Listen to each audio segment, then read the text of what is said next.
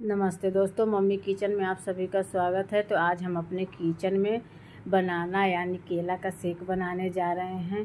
तो अब यहाँ हमने चार से पाँच केला ले लिए हैं। अब इस केला का छिलका हम हटा लेंगे। उसके बाद हम इस सबको चाकू के से कट करेंगे। छोटे छोटे टुकड़े में हम सारे केले को कट कर लेंगे। तो देखिए, इस तरह से हम केले को कट कर रहे हैं।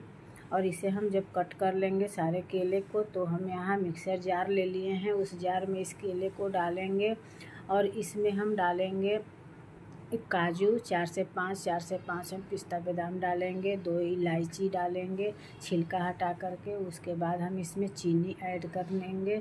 चीनी अपने हिसाब से ऐड करना है। उसके बाद हम इसमें दूध डालेंगे। उसके बाद हम इसमें थोड़ा एक चम्मच मध डालेंगे, यानी हनी डालेंगे, और ये दूध थोड़ा हम मलाई के साथ इसमें ऐड करेंगे और ये सबको हम अच्छे से पीस ग्रैंड कर लेंगे।